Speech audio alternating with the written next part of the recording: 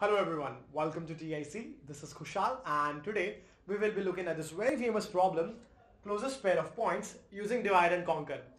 So let's understand the question a little bit. So you will be given n number of points on a 2D plane. Now your job is to find the two points which are at the closest distance of each other. That means the distance between those two points will be lowest. So the first thought that should come to your mind is to find distance from each point to every other point the two points which gives the lowest of distance will be the output, right? So what would be the time complexity for this approach? As we're trying to find the distance from each point to every other point, it will be n square. That means it will be too much of computation. Let's see how we try to reduce it to n log n. So in the beginning, we are going to divide all our points with respect to x-axis in such a way that on both of the sides, we have n by 2 number of points. So we're equally dividing the points into half. Now we have three options here. One, both of the points are on the left side. Two, both of the points are on the right side. And three, each of the side will contain a single single point of the pair. Okay, let's deal with the case 1 and case 2 for now and after that we will be dealing with the third case. Okay, so what we're gonna do is just as we divided all the points into half in the beginning, what we're going to do is we're going to divide each side into half recursively till we have only two points remaining on each side. So once we have only two points remaining, we can get the distance in O of 1, right? Because they're just two points. Okay, so from each recursive call, we are going to return the minimum distance. And that is how we can get the minimum distance from left side and the right side. Okay, now we come to case 3. Assume that we got the minimum distance d from case 1 and 2. Now, if the closest pair of points lies within the third case, those two points has to lie within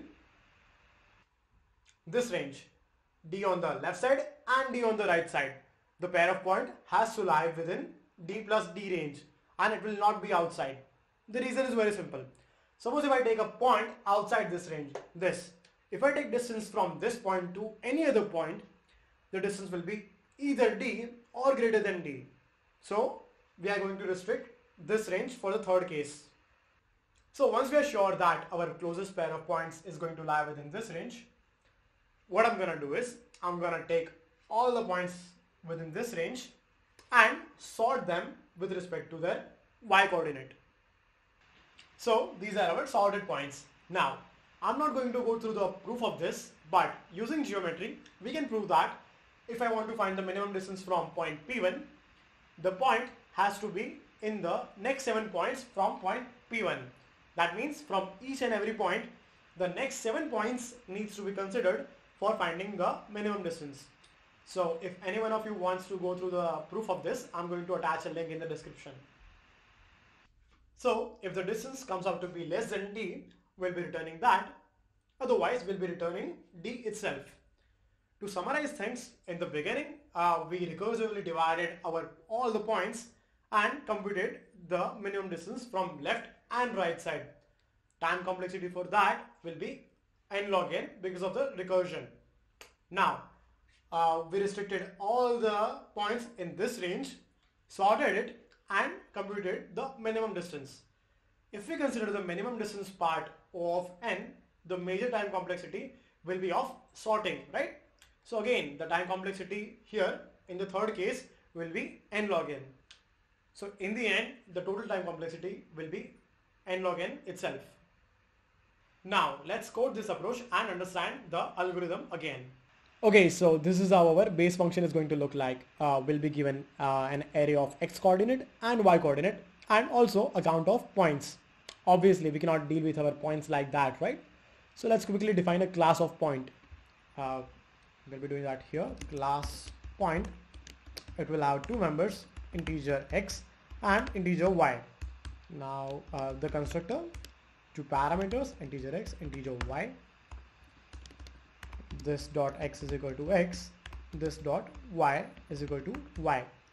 So that was our point class. Uh, now that we have already defined our point class let's quickly uh, define a method to find distance between two points okay so we'll be doing that here.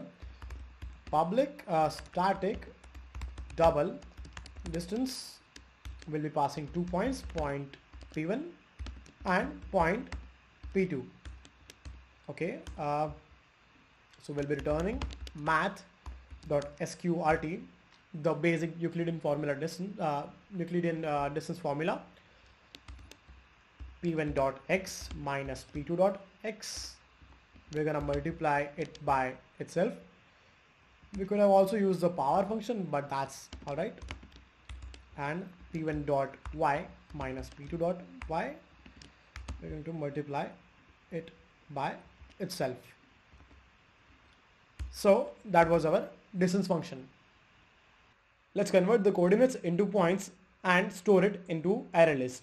So we are going to have two array lists here. Both the array list will have all the points uh, but the first array list will be sorted with respect to x-axis and will be used for case 1 and case 2 because in those cases we need to divide the points into half with respect to x-axis right?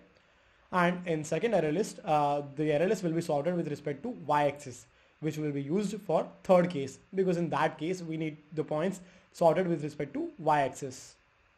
Okay let's quickly code that. Uh, so we're gonna define array list over here. Array list of type point arrx so this will be sorted with respect to x-axis new array list just like that array list point arr y is equal to new array list now we're going to iterate through the points for integer i is equal to 0 i is less than x dot length i plus plus. Okay uh, we're gonna define an instance of point p is equal to new point x of i and y of i. So this is going to give the coordinate values. We're gonna add the point into act, uh, ARR of x and ARR of y. Okay now let's do the sorting collections dot sort. Uh, ARR okay we need to import collections over here. I haven't done it yet. Okay perfect. ARR X. Now this is the lambda function. If you do not understand this uh, I suggest you watch a video for lambda function. But what this is going to do is going to sort the array list with respect to x-axis. ARR of y a comma b a dot y minus b dot y. Collections. Okay so that is it. Okay now let's quickly define a recursive function in which we are going to pass these array lists okay so new function. Public static double we're going to name it closest recursive to identify. That is it is a recursive function. We're going to pass array list of type point arrx array list type point arry and a count value with that. Okay so every recursive function has a base condition right? So if count value is less than or equal to 3 we will be using brute force to find the distance. Uh, we are yet to define that method, but return minus 1. Let's just say that for now. Okay, so now is the time to divide the array list into half and call the recursive function on each of the halves. So what we're gonna do in the beginning is gonna take a midpoint. Integer mid is equal to count divided by 2. Okay, uh, let's take the point in the middle, uh, point, midpoint is equal to arr dot get and we're gonna give the mid index. Okay uh, let's quickly define two new array list which will have the values of the left and values of the right side. Array list of type point new arr uh, x1 is equal to new array list similarly new arr x2 now quickly give the values. For that we're gonna have a for loop i is equal to 0 it's going to go till the middle point and i plus plus new dot add. We're gonna give the value arr of x dot get and give the index. Similarly for the second array list the range is going to be different this time. And arr x dot size. Okay uh, we'll have two here so uh, we have successfully given the following values. Now we are going to call the recursive functions. For that uh, this will be the output of the recursive functions. Distance from left which will be the minimum distance. Closest recursive. We are going to pass the new arr x1 for the left side. Uh, the second parameter is going to be the same arr of y and midpoint because uh, this part will have only 0 to mid values. Just like that.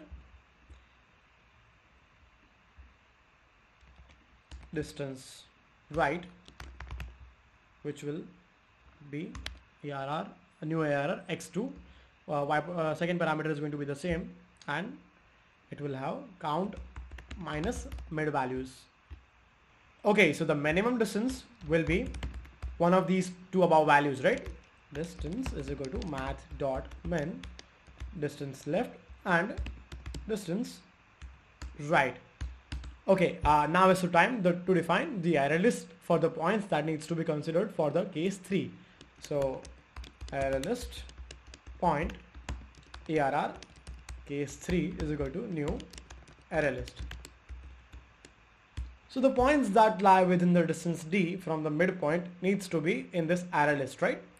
So uh, let's add all those points for integer i is equal to 0. We are going to iterate through all the points uh, i is less than count and i plus plus okay uh, so if math dot abs we are going to check distance over here arr y here we will be using the arr y dot get i if the distance minus midpoint dot x if it's less than minimum distance we need to add the point arr case3 dot add arr y dot get that specific index. So now that we have added all these points we will be defining a function to calculate the minimum distance from this arr case3 array list as we have already taken all the points from ARRY, we do not need to worry about sorting as ARRY is already sorted. Okay uh, now the function. Public. Static. Double. Calculate case 3 okay uh, in that we are going to pass the array list of point arr we are going to give the size of the array list integer size and the minimum distance value that we calculated from case 1 and case 2 uh, double min distance. Okay uh, so double min value is equal to min distance. That's all right. We are going to traverse through the array list. Integer i is equal to 0 i is less than size i plus plus. Okay just like that we are going to have a loop for j pointer as well. It's going to start from i plus 1 and it's going to go till math dot minimum of size or i plus 1 plus 7 the next 7 points right?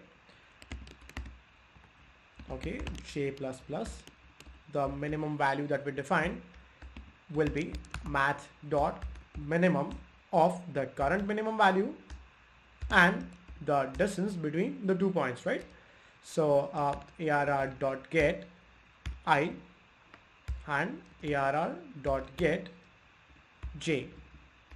So that will give us the minimum value. In the end we just need to return the minimum value. Okay uh, we are yet to define the brute force right? So let's quickly do that. Public static double we are going to name this method brute force and we are going to pass an array list of point. Arr x and a count variable the number of elements number of points in that array list.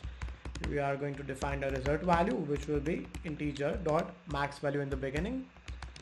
Let's traverse through the array list. Integer i is equal to 0 i is less than count i plus plus. So this is for the first point. Now for the second point i uh, integer j is equal to 0 j oh we need to start j from i plus 1 j less than count and j plus plus. Okay so the result value will be math dot minimum of the current result value and uh, distance of the first and second point. So arr of x dot get i comma arr of x dot get j um, in the end we just need to return the result value. Okay let's quickly update it over here. Brute force arr of x and the size right? So arr x dot size. Okay so the only thing that is left to do now is to return from our recursive function. Let's quickly do that. Uh, we are going to return math dot minimum the minimum value that we found from case 1 and 2 minimum distance or the value that we get from calculating the case 3 calculate case 3 arr case 3 uh, arr case 3 dot size and the uh, minimum distance value. That was the parameters. Okay we will be calling this uh, closest recursive function from this closest distance uh, function. So uh, closest recursive arr of x arr of y and the count right? So arr dot x dot size. Let's quickly call this function from our main function. Uh, okay uh, we're going to s out. Uh, find closest distance. We're going to pass x value y value and the length right? So x dot length. Let's quickly try to run it and see the output. Okay that is in fact the correct value the correct closest distance of these points. Let's try another example. Let's try this example. Okay so that is in fact the correct value. Uh, I guess this concludes the video. Uh, if you have any doubts please feel free to comment. Uh, thank you everyone for watching. Please like uh, share and subscribe